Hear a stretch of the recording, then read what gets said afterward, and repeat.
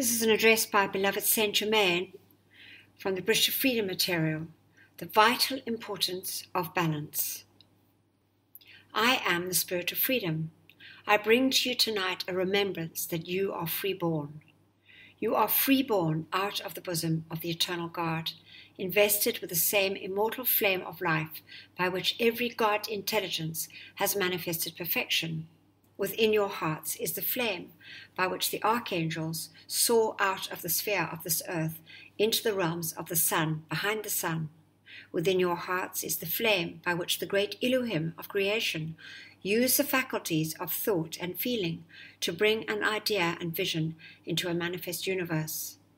Within your hearts is the flame which beloved Helios and Vesta and every sun, god, and goddess in the universe have used to create and sustain their solar system.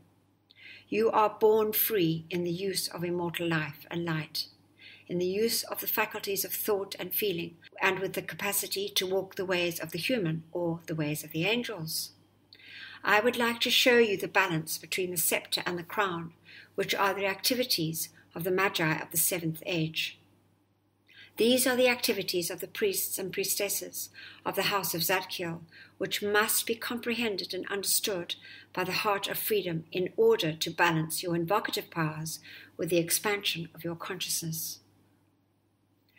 For your initial lesson, the scepter is a symbol of the power of invocation. It is the symbol of the rod which beloved Sanat Kumara holds. Its power keeps all souls in the seven spheres around the earth so they do not fly into space. It is a symbol of the rod of Aaron. It is the symbol of the rod of power. Within yourself, this scepter is the power of your invocations.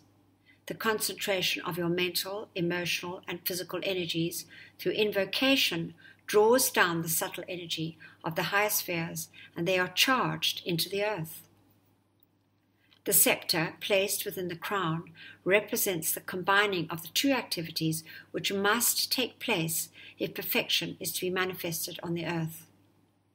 During the time of Lemuria, the priests were forewarned about the coming of the laggards from other systems.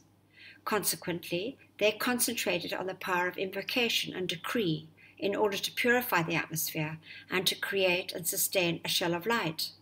They became involved in human maya, so then the receiving consciousness was neglected.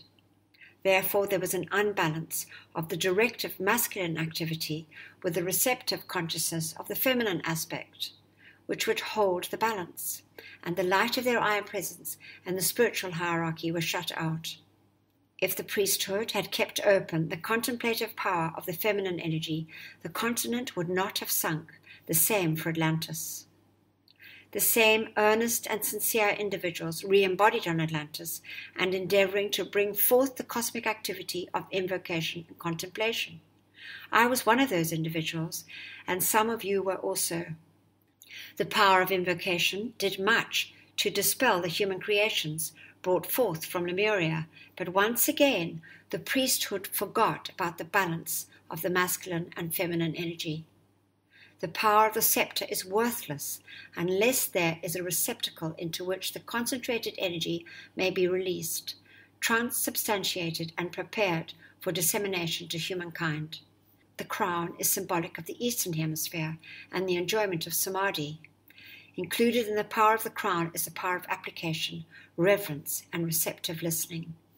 When you combine these two powers, the errors of the past civilizations will not be repeated.